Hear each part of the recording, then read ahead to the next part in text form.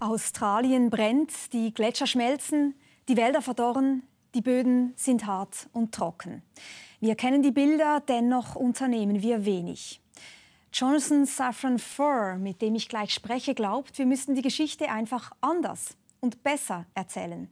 Und wer sollte das können, wenn nicht er? Er ist einer der wichtigsten Schriftsteller der USA und hat 2010 auch bei uns die besten Listen gestürmt mit seinem Sachbuch Tiere essen, einer radikalen Kritik an der Massentierhaltung.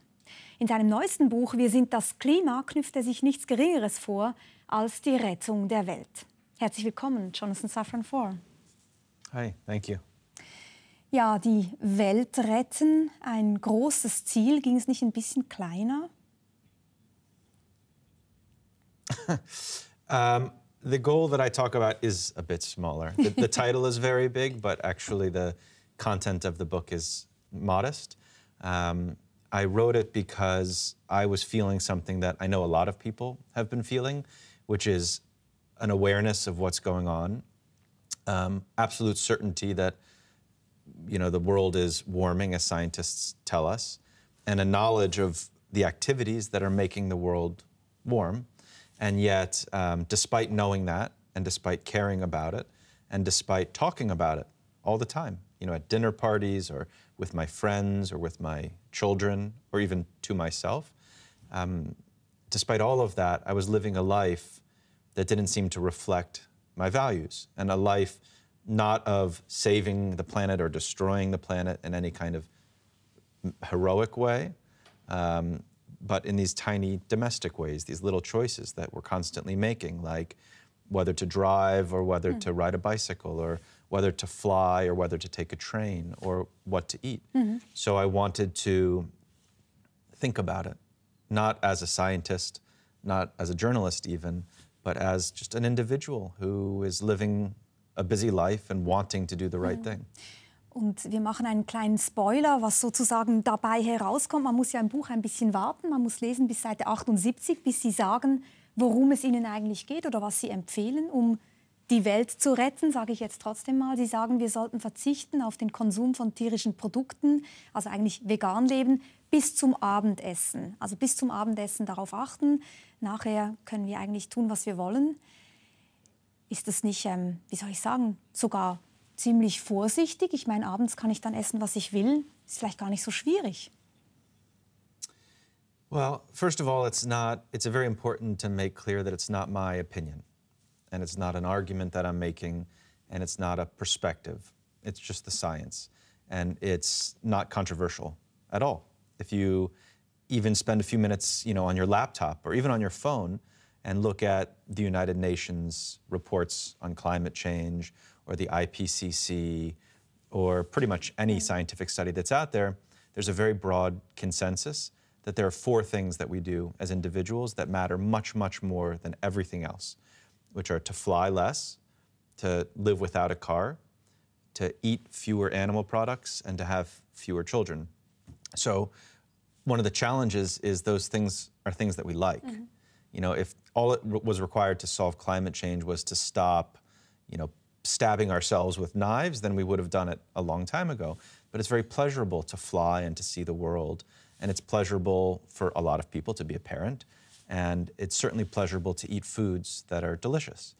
Um, we know that animal products are the most destructive kind of food that we can eat. They produce more greenhouse gas emissions than everything else in the world, everything else in the world put together. And we also know how much we need to reduce. And it's not total. We don't all need to become vegans. Mm-hmm. The most comprehensive um, analysis of the relationship between food and the environment was published at the end of 2018.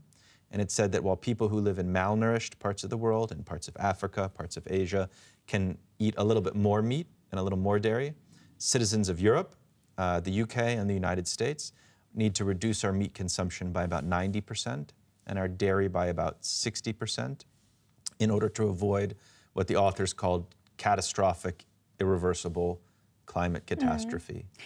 Da gibt es ja auch unterschiedliche Zahlen, wie groß der Beitrag der Nutztierhaltung insgesamt eigentlich ist auf diese Frage der ähm, Treibhausgasemissionen, also der Frage auch, wie sehr, wie schnell der Klimawandel vorangehen wird. Sie nennen, also diskutieren das ja sehr ausführlich. Dieses Buch ist, obwohl es von einem Schriftsteller geschrieben ist, ein sehr sachlich kundiges Buch mit ganz vielen wissenschaftlichen Daten auch. Und die beiden Zahlen, die herumgeistern, sind 14,5 Prozent. Das ist die Zahl, die die FAO, also der, ähm, die Welt, Welternährungsorganisation, ähm, dafür plädiert ist die eine Zahl. Die andere Zahl ist 51 Prozent, ähm, die Zahl des World Watch Institutes. Und Sie sagen ganz klar, wir sollten die höhere Zahl nehmen, weil nämlich die tiefere Zahl ganz viele Dinge nicht mit einberechnet, die das Fleischessen oder das Milchtrinken eben auch mit sich bringen. Right. So one of the reasons that the figures are so different are because of the factors that they either take into account or don't take into account. So, for example, um, 91% of the Amazonian deforestation is because of livestock, cattle, either to create land for the cattle to graze or to create land to grow crops for the cattle. So we know that when we burn the Amazon, a lot of carbon is released from the trees.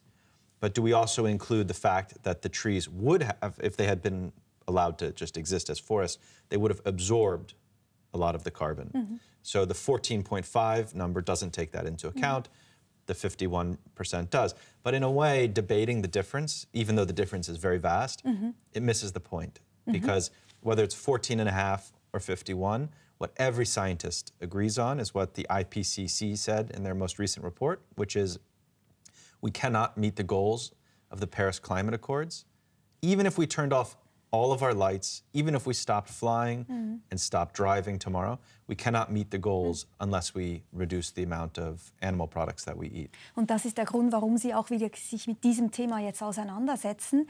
Sie haben vorhin vier äh, Punkte genannt, bei denen wir individuell ansetzen können. Darunter war eben auch die Frage, weniger Kinder zu bekommen. Sie selber sind ja auch Vater von zwei Kindern. Sie haben zwei Söhne. Nun gab es da ja auch ähm, einigen Aufruhr, nämlich um eine Zahl ähm, des Club of Rome, die gesagt haben, es sind tatsächlich 58,6 Tonnen CO2, die wir einsparen würden pro Kind, das wir nicht bekommen.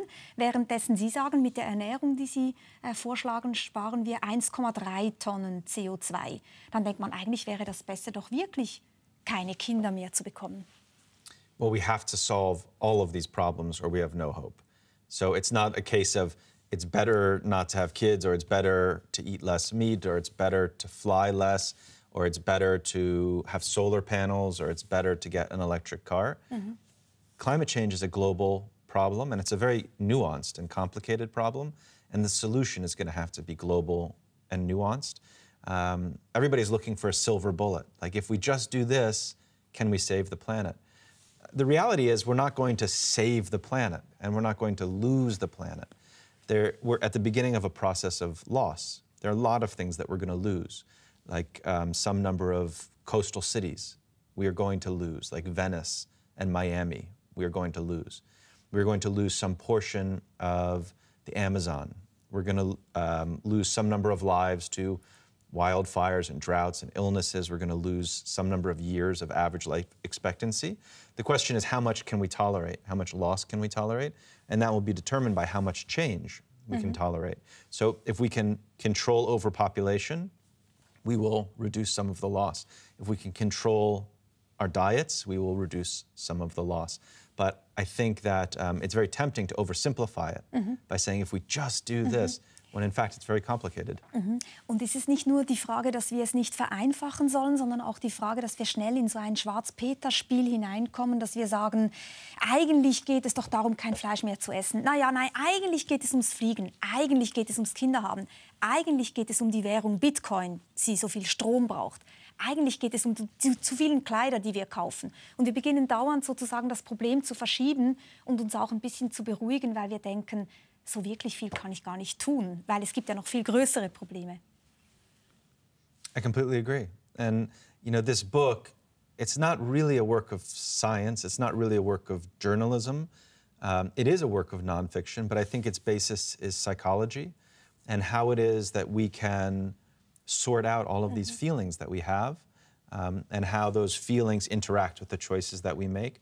There's a poll in America recently that found that more than half of all teenagers feel fear right now. They feel afraid and they feel angry.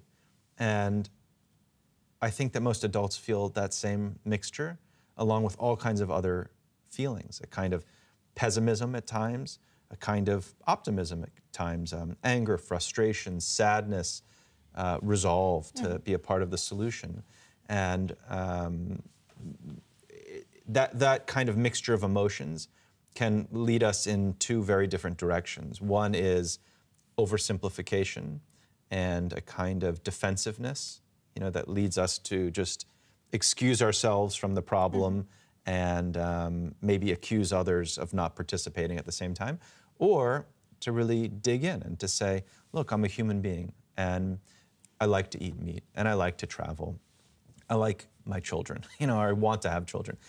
I'm clearly not going to become some kind of ethical robot, but even within the reality of what it means to be a human, I want to do as much as I can. And maybe my amount is less than somebody else's, and maybe it's more than another person's, but I don't have to worry about this and this. Mm-hmm. The beginning, at least the beginning, is to look at ourselves and say, what's possible for me? What are my best ways of responding to the science?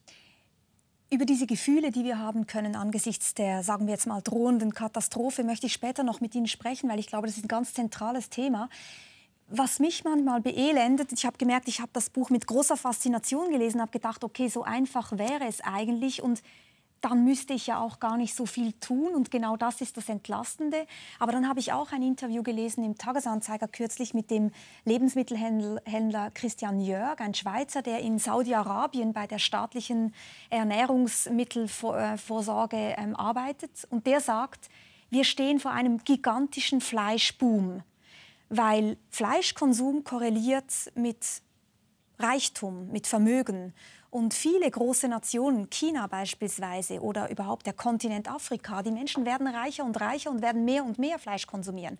Und das hat etwas Deprimierendes. It is depressing. You're right, and it's true. Um, but there's two forces moving in opposite directions at the same time. One is affluence, and the other is conscientiousness. So, affluence, the reason people eat meat, or a large part of the reason they eat meat, is because it signifies success. Mm-hmm. It signifies power. Um, it may be that those signifiers are changing. They're certainly changing among young people. You know, on American college campuses right now, across the entire country of America, there are more vegetarians than there are Catholics. So for young people, for teenagers, meat does not signify affluence and success. It signifies wastefulness, consumerism, and environmental destruction. So my hope is that the culture will continue to change as quickly as it is changing right now, and people who have a lot of money won't say, "I want to eat a steak at night." They'll find other ways to feel good about themselves or to, you know, express their wealth. The second thing I would say is some of the countries that you mentioned are actually at the forefront of meat reduction.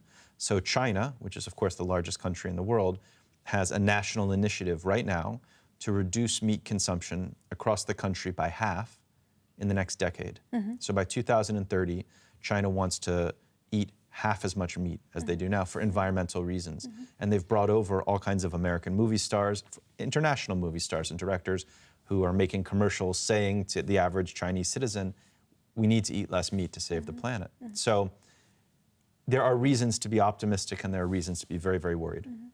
Eine Frage ist ja auch, wie sehr braucht es das Individuum, wie sehr braucht es meinen Beitrag und wie sehr brauchen wir die Politik oder eine systemische Lösung sozusagen. Und das war ein Vorwurf, der Ihnen manchmal gemacht worden ist, dass man gesagt hat, wir brauchen doch eigentlich politische Lösungen. Warum appellieren Sie nicht, äh, keine Ahnung, an die Legislative, an die UNO, an die Behörden, an die Steuerbehörden? Warum schreiben Sie ein Buch für das Individuum? Well, we need both. Mm-hmm. You know, individuals cannot solve the climate crisis, but we cannot solve the climate crisis without individuals. So the kinds of decisions that I write about, you know, flying, eating, um, driving, and having fewer children, have profound impacts, real measurable impacts on the climate. It's also true that they have real and measurable impacts on the culture and on corporations and on politicians. So, one example is in America, when I wrote this book uh, about a year ago, there was not a fast food restaurant in the country that I know of that carried a veggie burger. You just couldn't find it anywhere. So, if you're going for a drive, as I often did from New York to DC, where my, my parents live, and I stopped at a Burger King, there's just nothing mm. to eat. Now, every single fast food restaurant in the country carries a veggie burger, a Beyond Burger, or an Impossible Burger. Um, Beyond Meat is had the largest initial public offering of any com- any company in the last 20 years in America. And the reason that they're serving these foods is not because the government said you have to do it, and it's not because the CEOs are good people. Mm. It's because consumers said, I want this. As we say we want it, it changes the marketplace. Mm. And as the marketplace changes, it becomes easier to make good choices. And so we make more good choices. And as we make more good choices, corporations change even more. Mm-hmm. And laws will start to follow habits. Mm-hmm. And it's the same thing with electric cars. Tesla just became the biggest car company in American history.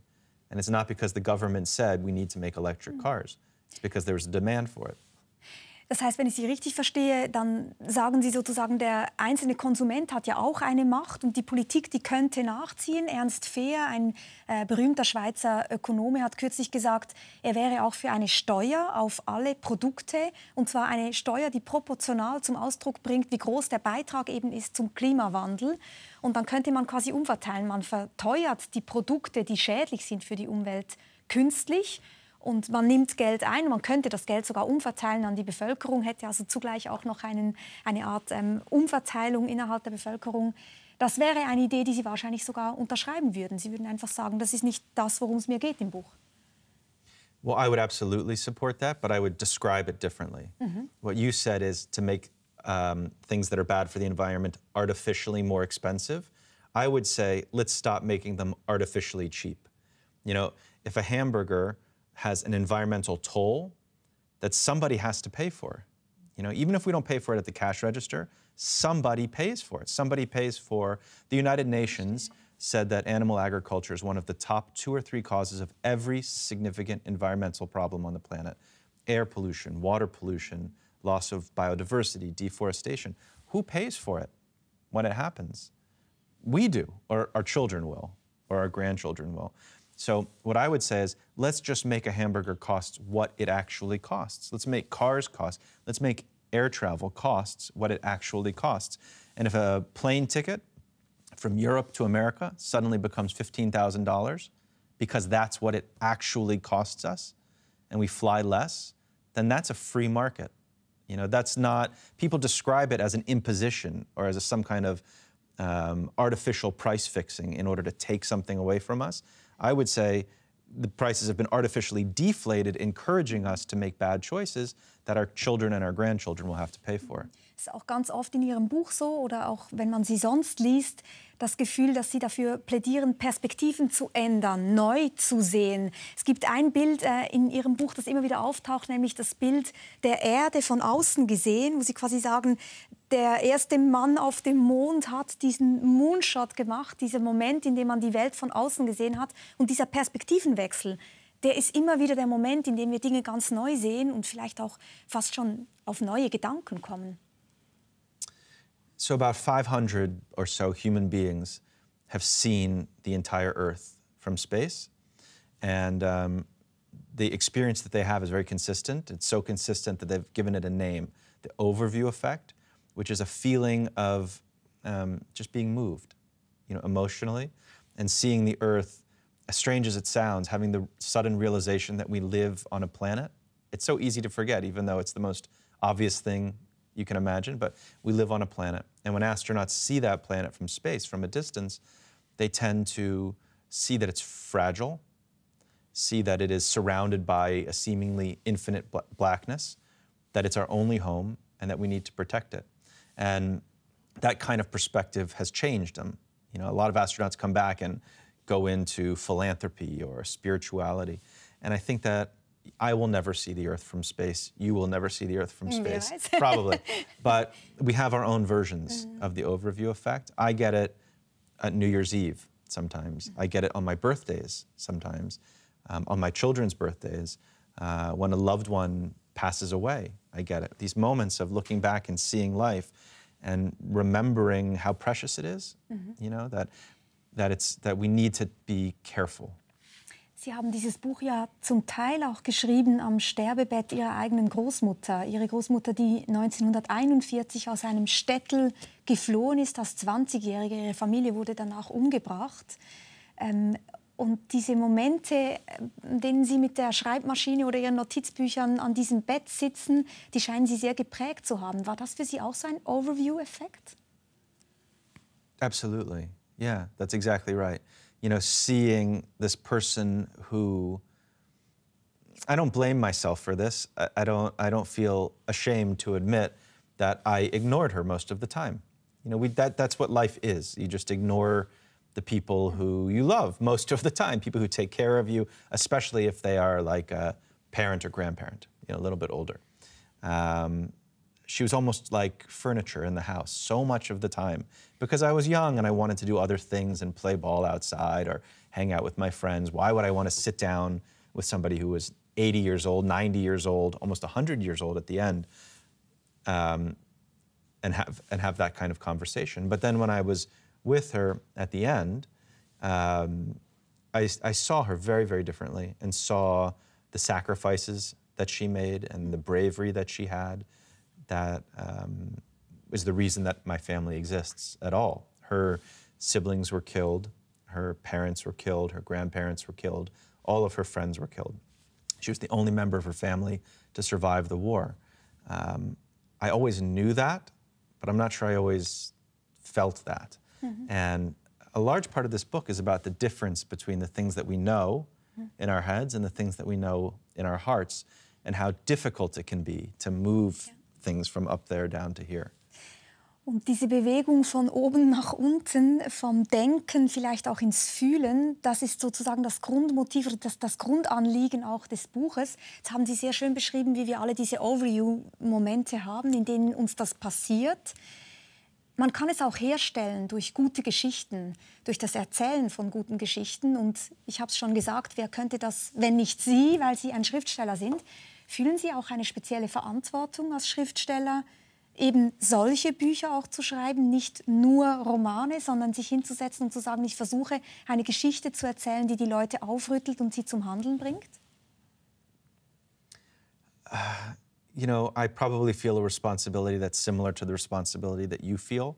You know, you, you're having me on today to talk about this subject when you could have had people with subjects that are much sexier or funnier or more um, attractive to like a casual viewer. But there's something that you in here where you said this is important and we need to talk about it. Das ist so, wobei Sie natürlich auch sehr attraktiv sind als Gast. Die Leute wollen hören, was Sie zu sagen haben. so I at a reading that I did very recently in London, it at the end of a reading there's always like a question and answer mm -hmm. session, and the final question was from an eight-year-old girl. Um, she was sitting in the front row, and she asked me, "Do you think?" that we will solve this problem, that we'll save the planet. And I told her the truth, which is I don't know. And I said, Do you think we will? And she said, I don't know if we'll do it in time. Mm-hmm. And I said, Well, what do you think would be required to do it in time?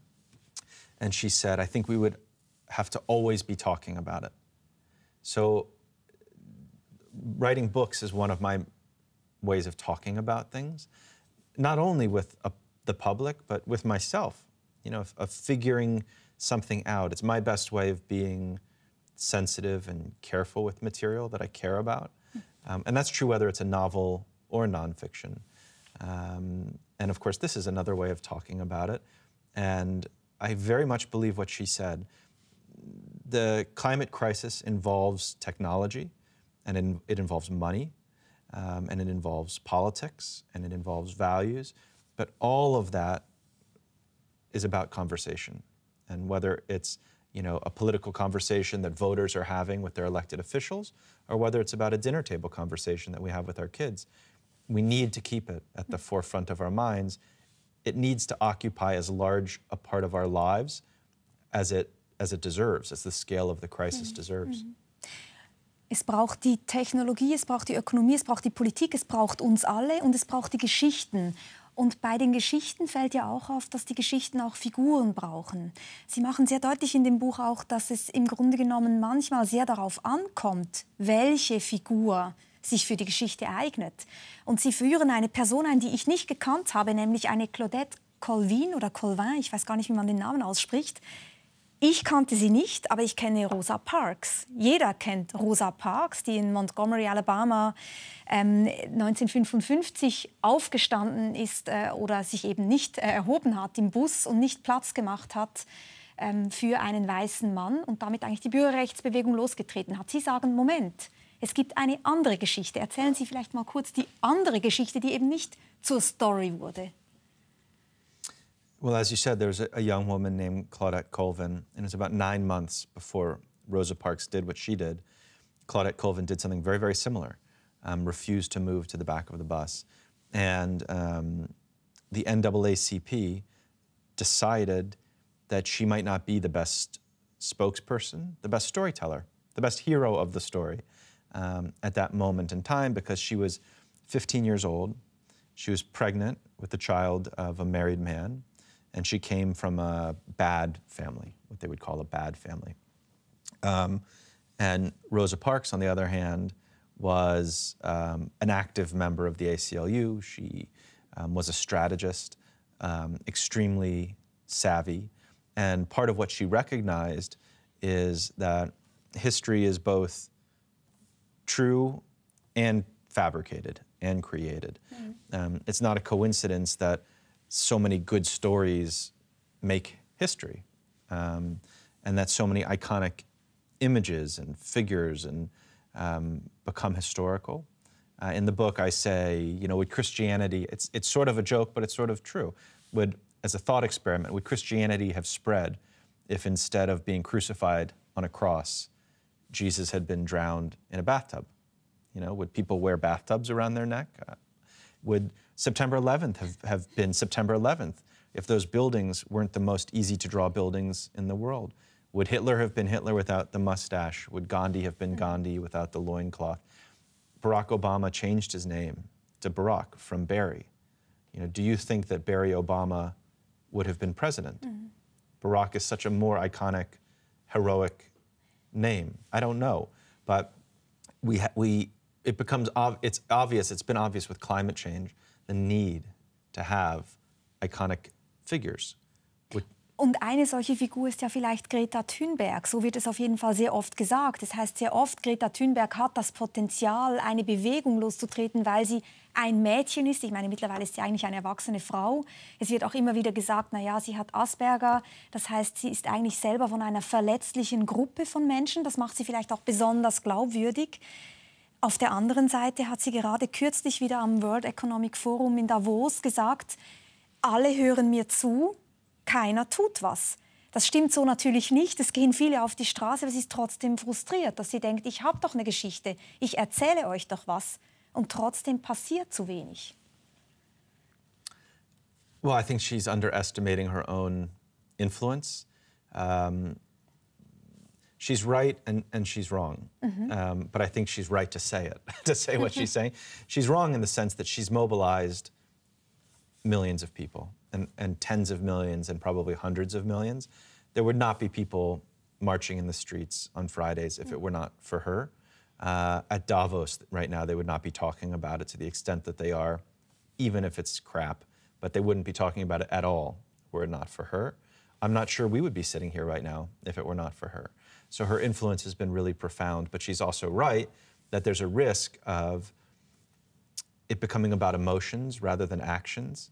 You know, people who, who watch videos of Greta Thunberg and cry and feel hope and inspired as if that were what it meant to be an environmentalist, to watch videos of Greta Thunberg instead of changing their lives in the way that she has. Mm-hmm. Um, you know, at the same time that we've had Greta as a kind of hero our first hero, you might say, of, of the climate crisis.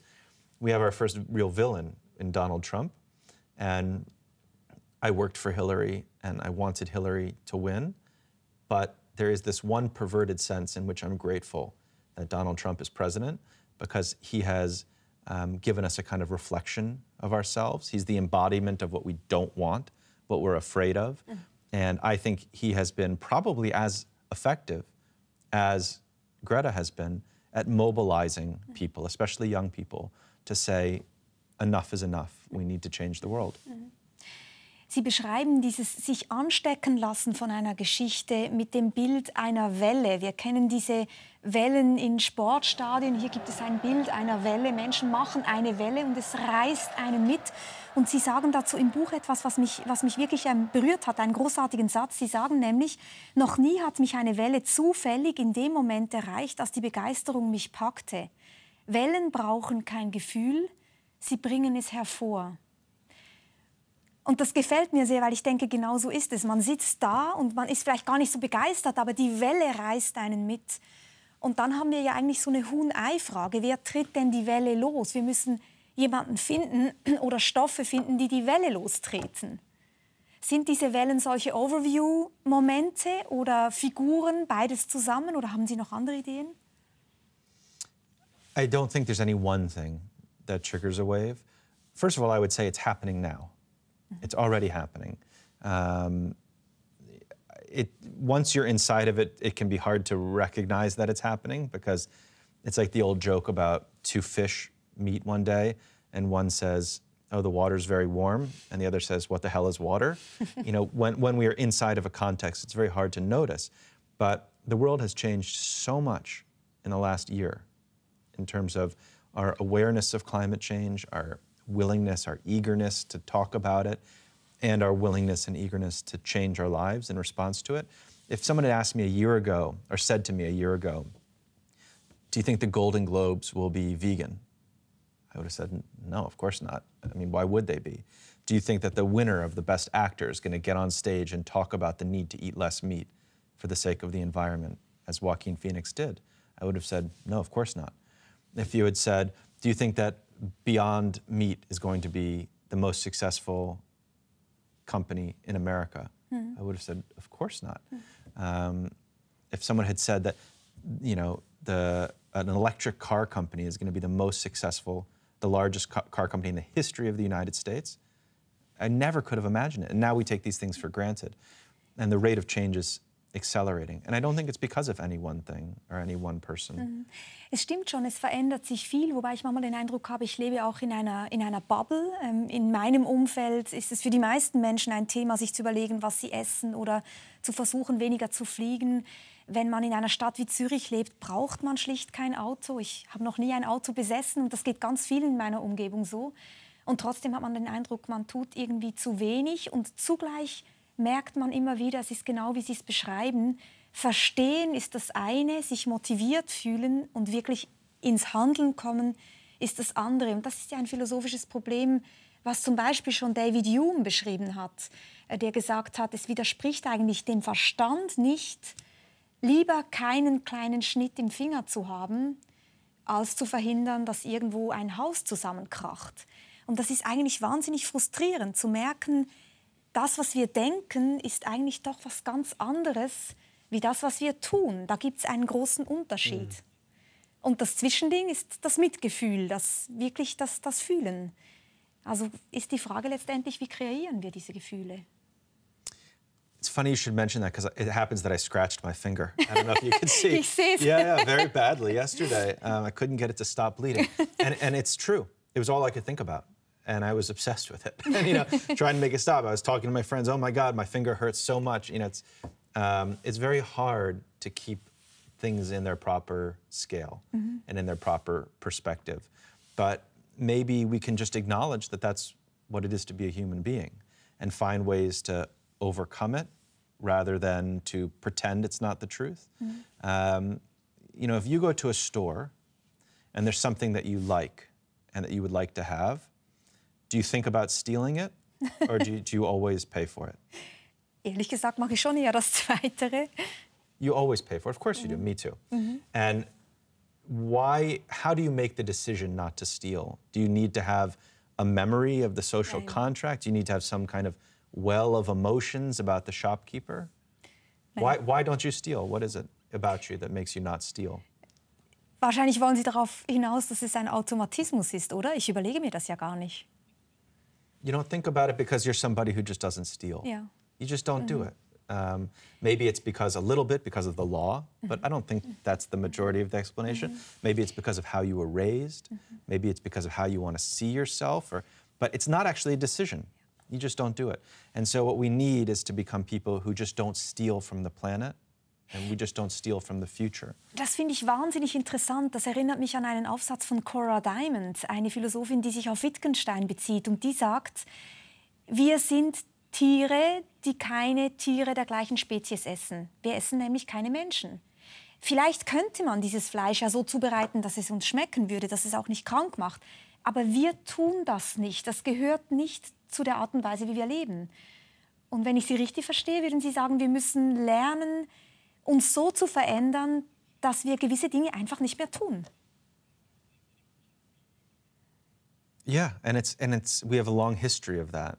We also don't eat dogs, by the way, and we also don't eat koalas. You know, everybody now you see these images in Australia mm. of um, of dead koalas on the side of the road, mm. and people become so upset as if mm. how could human, humankind have allowed that to happen, when we forget that we kill 50 billion animals every year, and that those 50 billion are a large part of why that koala is dead on the side of the road.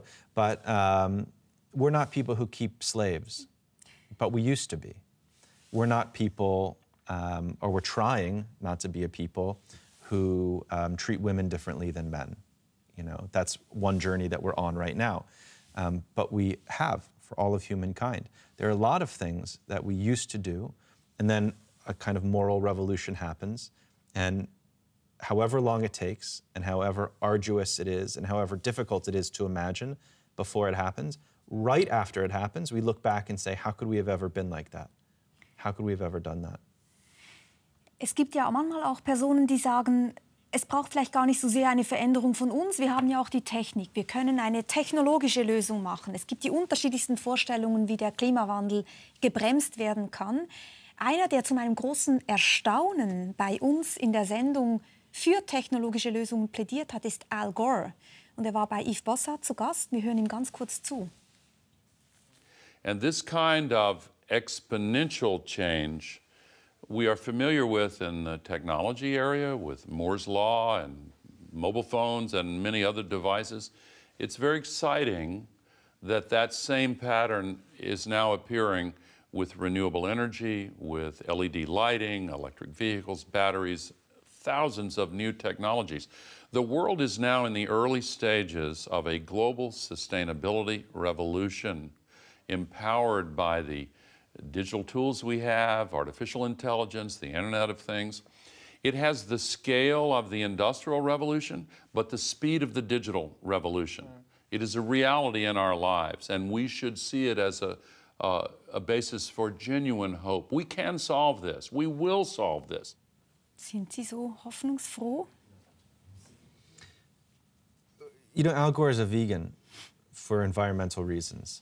So it's not only the case that he's hopeful about the possibility of technological solutions, he's also taking steps as an individual to do what's necessary in the meantime. And so I might say that that's a good balance to have. There is one thing he didn't mention, though, which is the Industrial Revolution and the digital revolution were driven by money and only by money. That was the only incentive for companies to innovate. And now it cannot be the only incentive. You know, green technologies will be lucrative, and people are going to make a ton of money um, working on the climate crisis, but it's not, it doesn't necessarily make sense in a holistic way as business. And um, the people who talk about the um, possibilities of technology solving these problems, you never ever hear them say, which is why we should invest $2 trillion in governmental research, which is why the tax rates should go up 10% until we've solved the climate crisis. Nobody's willing to invest in that idea. They just present that idea as a way of excusing oneself from having to do other kinds of hard work. Also Sie sind da ein bisschen skeptisch. Aber vielleicht können wir auch noch wirklich über den Begriff der Hoffnung sprechen und zu diesem Gefühl zurückkehren, das uns befallen kann, wenn wir über die Klimakrise nachdenken. Sie sagen im Buch, es gibt eigentlich nichts, was Sie zugleich so hoffnungsfroh und so hoffnungslos macht wie der Klimawandel. Und Sie haben diese Geschichte erzählt von diesem Mädchen, das Sie gefragt hat, ob Sie glauben, dass wir es noch lösen können und das dann selber gesagt hat, vielleicht nicht rechtzeitig. Haben Sie Tage, an denen sind Sie verzweifelt und Tage, da sind Sie voller Hoffnung? Oder ist das immer gleichzeitig in Ihnen drin, dieses Gefühl? I go back and forth. You know, sometimes something, I will read an article about mm -hmm. how we have underestimated the amount of methane that's being released into the atmosphere. And it's, you know, it, it kind of takes the air out of me and I feel um, a kind of despair. Or when I listen to Trump, talk, I feel a kind of despair. Mm. Uh, and then there are other things that make me feel very hopeful. Um, it's almost a joke in my family that I will often gather my kids together and I'll say, guys, I think we're going to solve this problem. I do.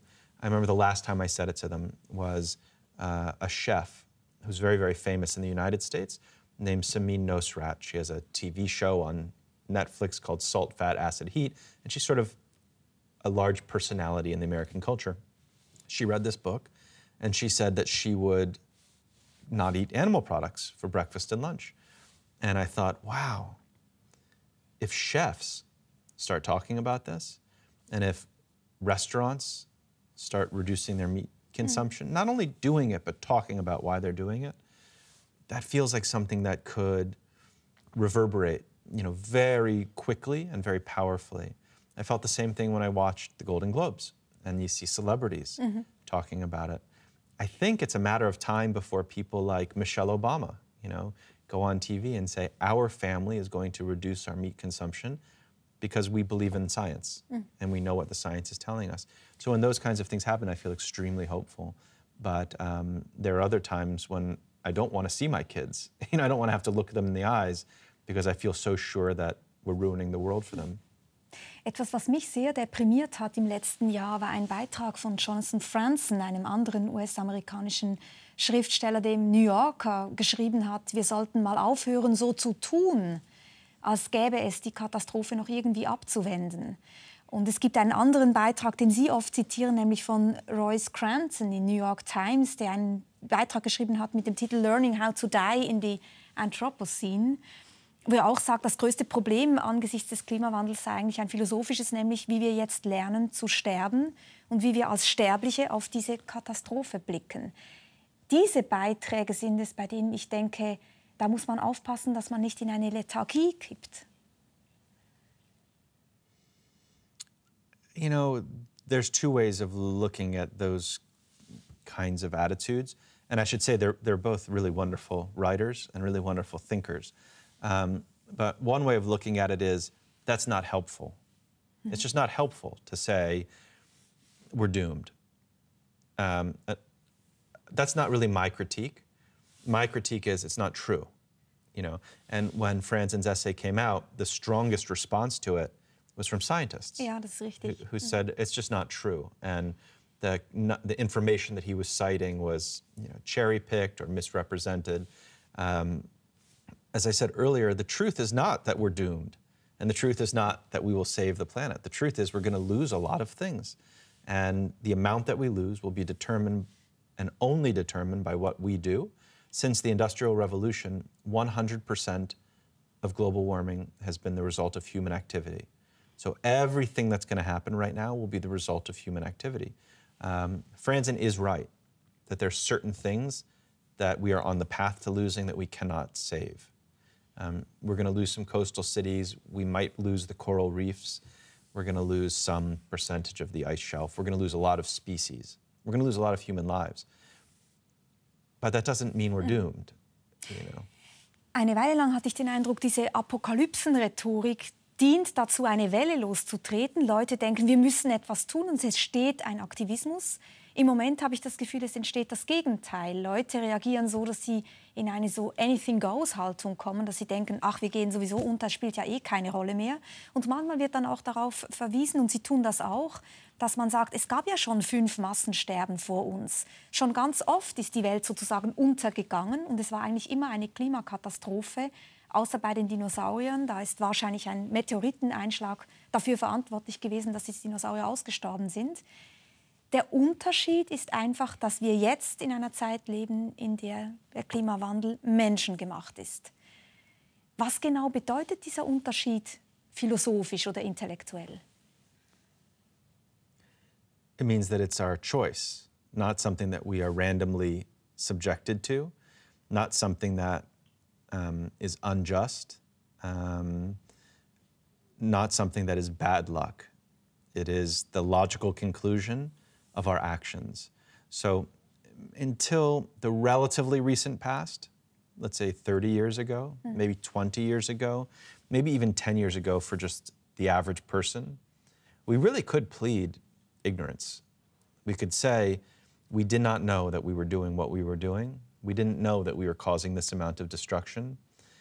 The cause and effect chain wasn't visible to us, but there's nobody who could plead that now. You know, in the United States, which is behind Europe in terms of climate awareness, um, about 91% of Americans say that they accept the science of climate change. Mm. 91% of Americans.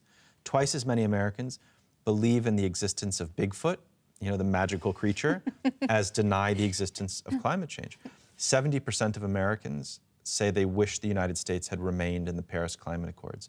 That includes the majority of Republicans.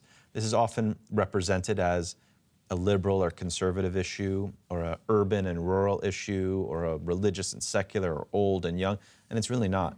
These are just basic values that we share. Um, and now we face the moment when it's, we cannot plead ignorance. We know what's happening.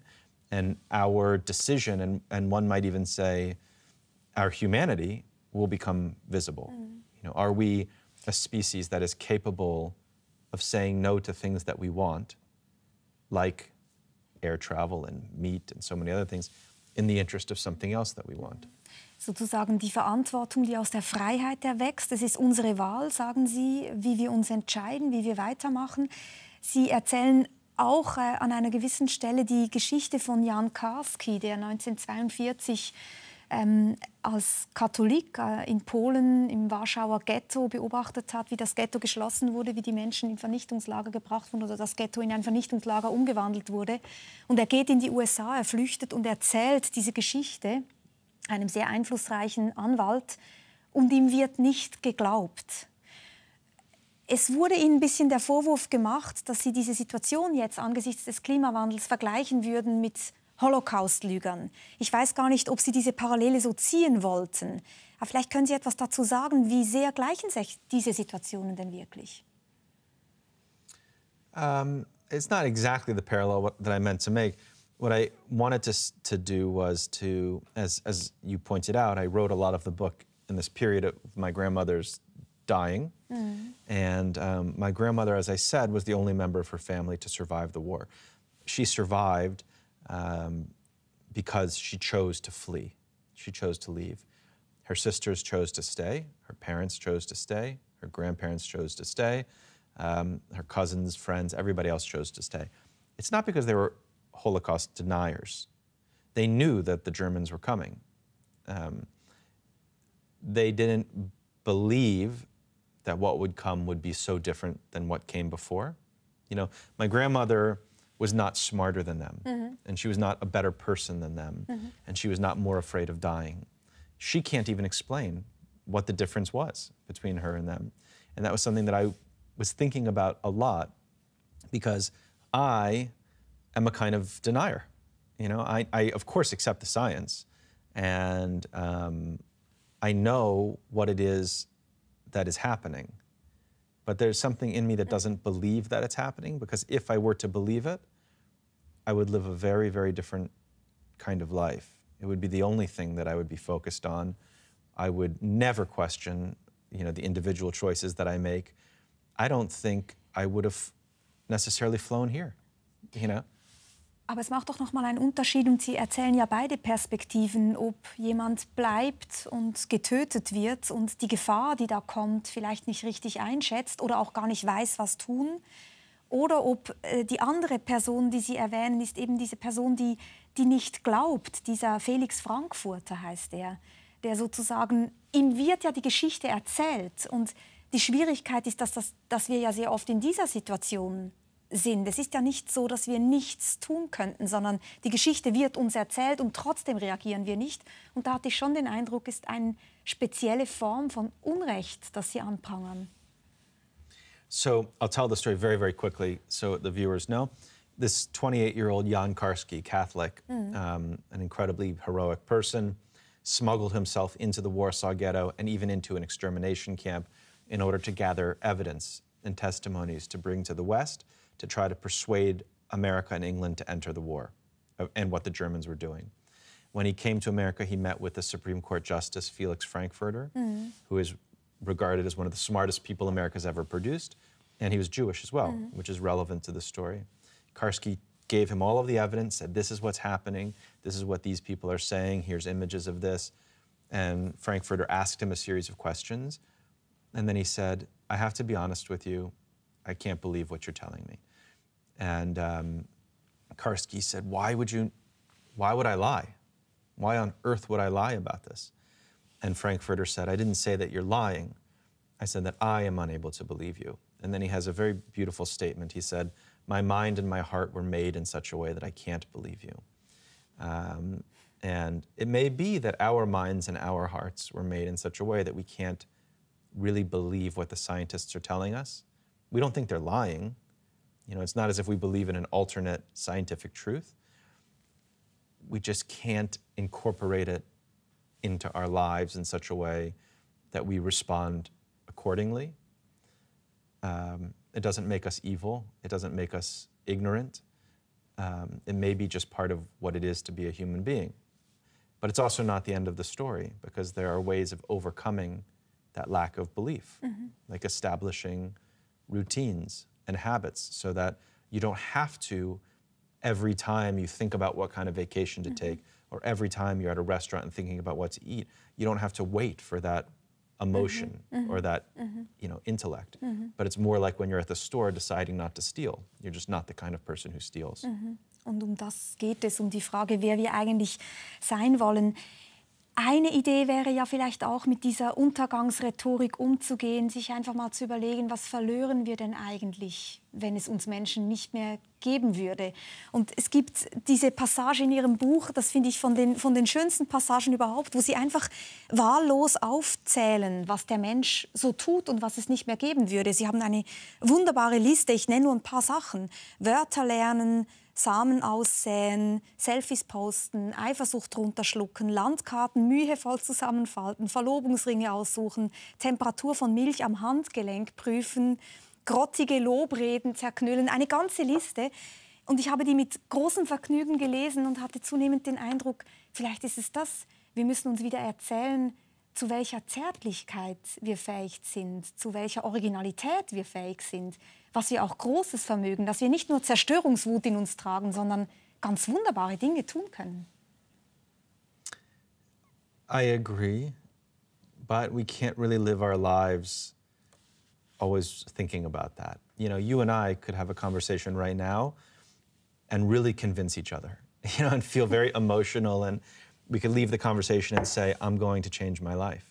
Like, I am devoted to solving, to playing a role in solving this problem, and we would mean it. You know, we could even cry. We would really mean it.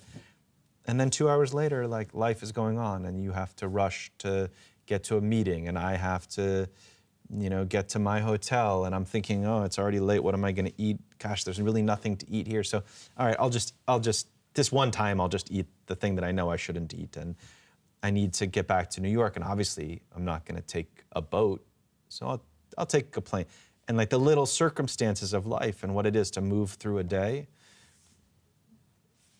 take our attention and our choices end up gravitating toward what will make our daily lives easier or more pleasurable and we forget about this other mm-hmm. stuff so it's entirely possible to be moved. You know, if I look at an image of um, flooding or fires or a storm, you know, or climate mm-hmm. refugees, I get very, very moved. And there's no question in my mind what I have to do. Mm-hmm.